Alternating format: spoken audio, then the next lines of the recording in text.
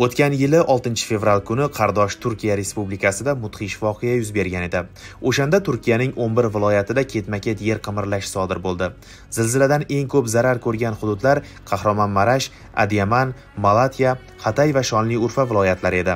Davlat muassasasi va tashkilotlarning zilziladan keyingi faoliyatini joyida o'rganish sog'liqni saqlash ta'lim shaharni rivojlantirish qishloq uylari infratuzilma va madaniy meros obyektlarini qayta qurish ishlarini birgalikda kuzatish maqsadida 2024 yil 9-12 fevral kunlari turkiy xalqlar o'zbekiston qozog'iston qirg'iziston turkmaniston va shimoliy kipr ommaviy axborot vositalari vakillari uchun qahramonmarash adiyaman va malatiya viloyatlarida press tur tashkil qilindi.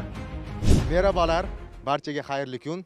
Biz turkiya respublikasi qahramonmarash viloyatiga tashrif buyurganmiz. Birinchi manzil qahramonmarash viloyat hokimligi bo'ladi va mazkur tadbirda aynan matbuot anjumani o'tkaziladi va qator masalalarda savollarga atroflicha javoblar beriladi. Bizni kuzatishda davom eting. Bir yildirki turkiya xalqi og'ir sharoitdan chiqib ketish yiqilgan binolarni tiklash jabrlangan fuqarolarga moddiy ma'naviy ko'mak berish maqsadida mislsiz ishlarni amalga oshirib kelmoqda. Qahramonmarash viloyati hokimi mukarram unluyer zilziladan eng ko'p zarar ko'rgan viloyatdagi uylarni tiklash maktab sport maydonchalari va ish ofislarini yangidan qurish aholiga ko'rsatilayotgan yordam xususida atroflicha ma'lumotlar berdi.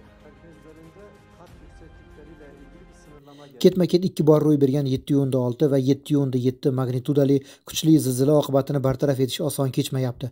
Kunu tun quruvchilarimiz ish olib boryapti. Qahramonmaraşda yetti ming to'rt yuz to'qson bitta bino vayron bo'lgan edi. to'rt ming to'rt yuz o'ttiz to'rtta obyekt shoshilinch buzildi. Jami hisobda ellik uch ming to'qqiz yuz qirq besh inshoot zarar ko'rgan. Ammo biz bu talafotlarni tez orada bartaraf etamiz. Hozirda binolarni buzish chiqindilarni olib tashlash jadal davom etyapti. Ushbu jarayonning to'qson foizdan ortig'i bajarildi deya olamiz ikkinchi manzilimiz qahramonmarash viloyat hokimligidan chiqib qahramonmarash shaharchasi bo'ldi. Ushbu shaharchada to'qqiz mingdan ziyod xonadon qurib bitkazilgan. Hokimlik ma'lumotiga ko'ra yil yakuniga qadar o'ttiz mingta xonadon zilziladan eng ko'p jabr ko'rganlarga topshiriladi. Ma'lumotlarga qaraganda prezident rejep tayyib erdo'g'an qahramonmarashda xonadon kalitlarini o'z egalariga topshirgan.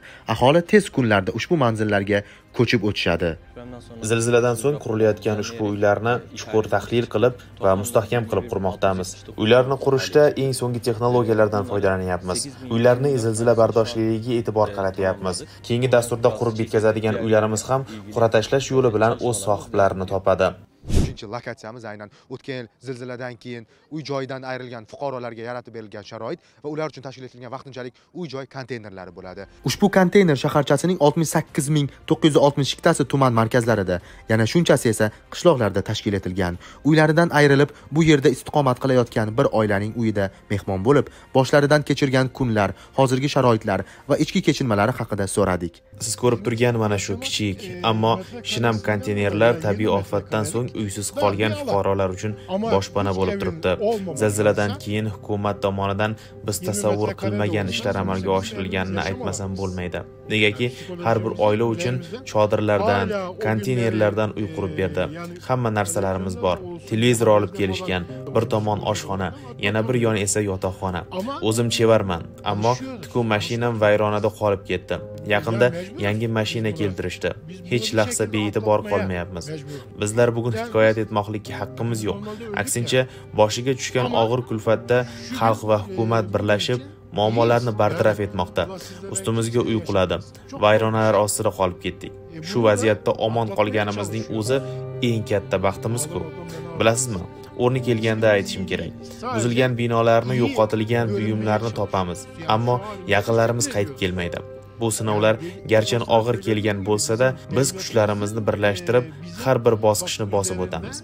Viloyatlarda yangi qurilayotgan uy joylar aholiga topshirilmoqda. Yaxshi kunlar hali oldinda.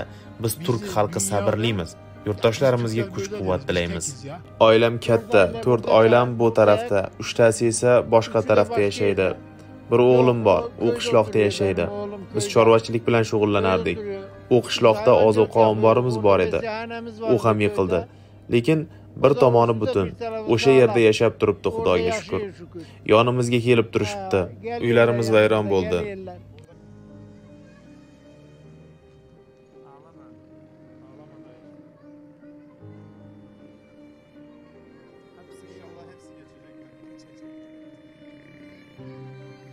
Lekin xudoga shukur behisob shukur juda ham yaxshimiz. Bexavotirmiz davlat oylik to'layapti non tuz bermoqda. menga yetarlicha ovqat bermoqda. bexavotirmiz atrof tuzalsin. biz xursand bo'lamiz. Ma'lumot o'rnida qayd etish kerak shaharda zilziladan keyin jamoatchilik nomidan 5 ta 400 o'rinli qahramonmarash shoshilinch shifoxonasi ishga tushirilgan. Shuningdek 10 ta shunday konteyner city boshlang'ich maktabi va umumta'lim maktabi 4515 o'quvchilarga uzluksiz ta'lim berib kelyapti. Xulosa qiladigan bo'lsak mana shunday qiyinchiliklarga qaramasdan turkiyaning qahramonmarashdagi oilalari e, sabr bilan o'zlarining yangi uylarini kutishmoqda va sabr bilan yashashmoqda. Albatta bugungi reportajimiz mana shulardan iborat edi. Bizni kuzatib boring. Keyingi manzil esa turkiya respublikasining adiyaman viloyati bo'ladi. U yerda ham biz aynan yaratib berilayotgan sharoitlar va zilziladan keyin qurilayotgan yangi uy joylar amalga oshirilayotgan islohotlar xususida yangicha reportajlar tayyorlashga harakat qilamiz